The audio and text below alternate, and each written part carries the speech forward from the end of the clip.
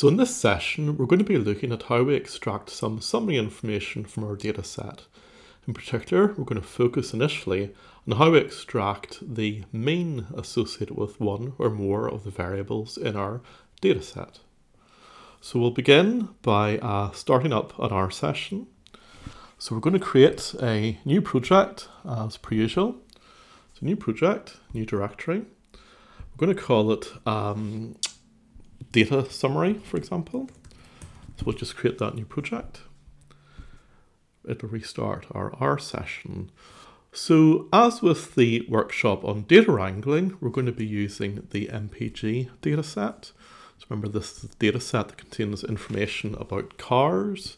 I think it's from 1999 to 2008, data collected in the US. The MPG dataset is part of the tidyverse. So we can simply load the tidyverse to get that data set. Um, let's save our script so that we're uh, keeping track of where we are. So data summary is the name of the script, I'm going to call it. Saving that now. Okay. So if you remember, the MPG dataset has got information in it about a whole bunch of cars, uh, manufacturer, model type, etc., etc. Uh, for our purposes, we're kind of interested in some of these fuel economy numbers over here. So imagine the first thing we want to do is to work out for each car manufacturer the average fuel economy on the highway. So we're going to take our data frame and then we're going to pipe it through and we're actually going to use a new function. We're going to group our data frame and we're going to group the data frame by manufacturer so that the operations that occur after this grouping occur for each, oh, just see how I got typo there. Uh, the operations that occur after this grouping will occur for each of those uh, groups. So we're going to use a function called summarize, uh, and we're going to ask for, we're going to create a new column called mean highway, and that's going to be equal to the mean of the highway column in our data set. You can see the highway column down here is highway fuel economy. Let's also work out the standard deviation for that column. So let's find out a little bit of information about variability associated with that variable. And we're also going to work out the number of cases, uh, you know, the number of, uh, you know, cases of each car manufacturer that go into generating these statistics using the n function. So if we run this bit of code here, in the output we see we've got information about car manufacturer, the average fuel economy in the highway, the standard deviation of fuel economy in the highway, and the number of cases, number of instances of each manufacturer that actually go into generating those summary statistics. So that's pretty useful. Um, as you can see, the output is ordered simply alphabetically, which is probably okay for a small data set like this. But if you've got a large data set, you actually might be interested in having the output organized, say, from worst fuel economy, worst average fuel economy to best, or vice versa. And we can actually do that by adding an extra little instruction up in our script. Rather than displaying the output, we can actually pipe it through to the arrange function, and we can ask for the output then to be arranged on the basis of mean highway. So if we run that bit of code now, you'll see down here, we don't have things ordered alphabetically anymore, but rather on the basis of low to high fuel economy. Okay, uh, perhaps we want the order reversed. We can simply put in a little minus sign on line 6 there, rerun that bit of code. We see the output is now ordered with uh, manufacturer with the best fuel economy, which is Honda, down to manufacturer with the worst fuel economy, which is Land Rover. So it's pretty handy getting it in that sort of output, and this looks a lot better. So related to the summary function are two other functions, two other variants of that function called summarize at and summarize if. So summarize at is quite useful because it can apply the same uh, uh, function, you know, say main, it can apply that over multiple columns at the same time.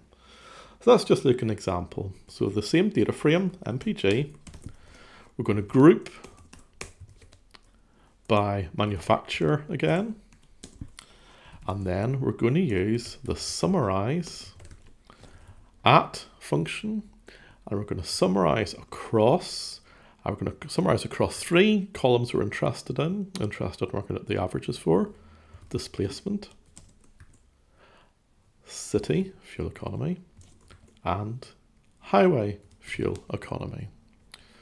So we're going to summarize across those three columns. We're going to ask for the mean to be calculated. And we're also going to say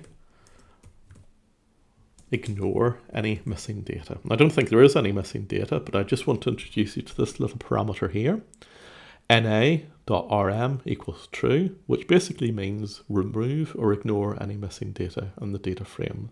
And it's really, really helpful because if R uh, discovers there's any missing data in, it, in your data frame, it'll typically stop because it's not going to decide for you what you what it, what it should do with it. So you need to explicitly say. So in this case, we're saying just remove missing data points. So if we run this bit of code now, we can see that the mean has been calculated across these three columns separately, grouped by each car manufacturer. So summarize at is a pretty good function if you're wanting to apply uh, the same uh, statistical function, such as the mean, standard deviation, or whatever, across a whole bunch of columns simultaneously. Related to the summarize at variant, uh, there's the summarize if variant. So imagine if we had a really big data set and we want to summarize all columns that are of a certain type, maybe all columns that are numbers. Rather than type out all of those column names, we can simply say that we want the mean to be calculated if a column is of type numeric. In other words, if it's a number. So we're going to use the summarize if function to do that. So we're going to take our data frame, MPG, we're going to group by manufacturer again. We're going to say summarize if and then is dot numeric mean and then na.rm equals true. So basically this is going to summarize any column that it finds in our MPG dataset that's numeric. And if we do that, we see in the output down here, we've got displacement, year, cylinder, city fuel economy, and highway fuel economy all averaged. So the summarize if uh, variant is a really good function for doing that. Sometimes we might actually want to add new columns to our data frame based on this sort of um, aggregation using these summary statistics. Well, what we can do is use a function that we looked at last time, which is the function mutate. And we can use that to create a new column. So our data frame, MPG, and then we're going to group by manufacturer. And then we're going to mutate such that a new column that I'm calling, going to call it mean HWY is equal to the mean of the highway column. And I'm going to ask for the standard deviation as well. So I'm going to create a new column called SD underscore HWY. that's going to equal the standard deviation of the highway uh, column. Okay, so just make sure I've got all my brackets closed. Run that. Oops, run that. Why did I not like that? Because um, let's see. Oh, typo. That's why. I'm not wearing my reading glasses. Okay, run that. There we go. So we've now got these two new columns created. Mean highway and standard deviation highway. And for Audis, obviously it's all the same. Okay. So we've actually got a really nice uh, sort of um, workflow here where we're grouping, we're working at averages, and we're adding new columns that capture those averages. But our data frame's getting a bit large. Maybe there are too many columns, so we can actually drop some columns, and we're going to drop columns using the select function. In the data wrangling workshop, we used the select, select function to, not surprisingly, select certain columns we can actually put a minus sign behind columns that we actually then want to drop. So you can think of this as being deselecting. So I'm going to drop the class and transmission columns. I'm going to run this code. We see that we've now got a narrower data frame where we've dropped two columns were up here, uh, transmission and class now don't appear in the new output. So we've used uh, that to drop those two columns. So, so far what we have is we've taken our data frame, we've done stuff with it, but what we haven't done is map it on to a new variable. In other words, we haven't kind of saved it. So you never want to be changing or modifying your original data set, but you might want to create a, a new variable name associated with your wrangled and tidy data set. So I'm just going to call create a new variable called mpg with mean, and I'm going to map onto that the result of our operation here. So I've created a new variable called mpg with mean. I can click on it up here and you can see this is my data set with the two new columns, mean highway, standard deviation of highway now added.